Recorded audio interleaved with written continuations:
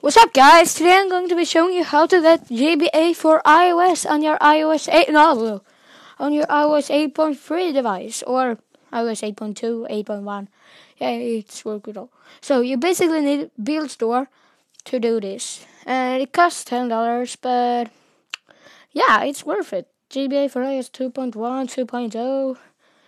I have I have actually never tried that. Yeah, you get a lot of emulators, games Flappy Bird, and uh, yeah, Movie Box, Mac. T- yeah, well, you get a really lot of stuff, and I think it's so worth it because yeah, you get a lot.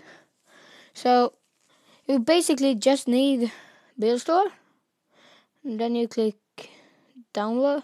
You're going to GBA for iOS. There you can read something about it, and yeah, then we press install. Hang on a little bit. Just wait.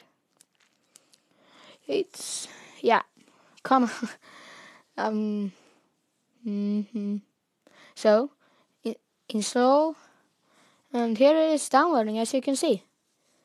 Mm. It will, won't take too long, hopefully. My network's not the best right now, but yeah.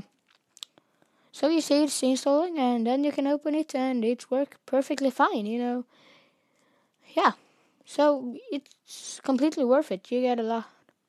So that's unfortunately it costs some, you know, but yeah, worth it or not.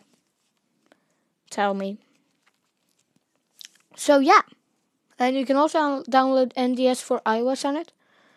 Here, just go down here, and as you can see, NDS for iOS. I I'll have already made a video how to download it, download the games, and here you go here, and here you can see. So MU oh, Emuparadise and Emuparadise is ba- is a really good. You can see here you see all the games, and yeah, let's show you how guys do.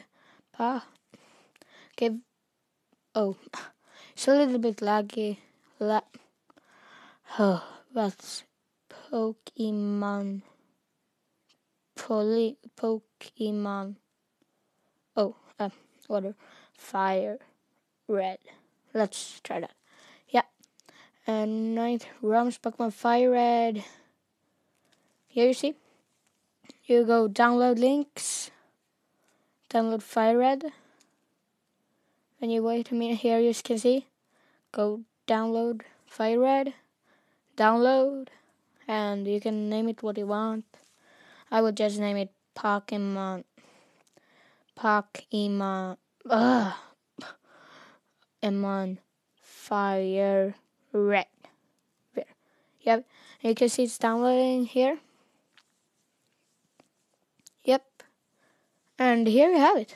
Pokemon Fire Red. For Game Boy Advance. Now on your oh Japanese version. I probably shouldn't mess with this.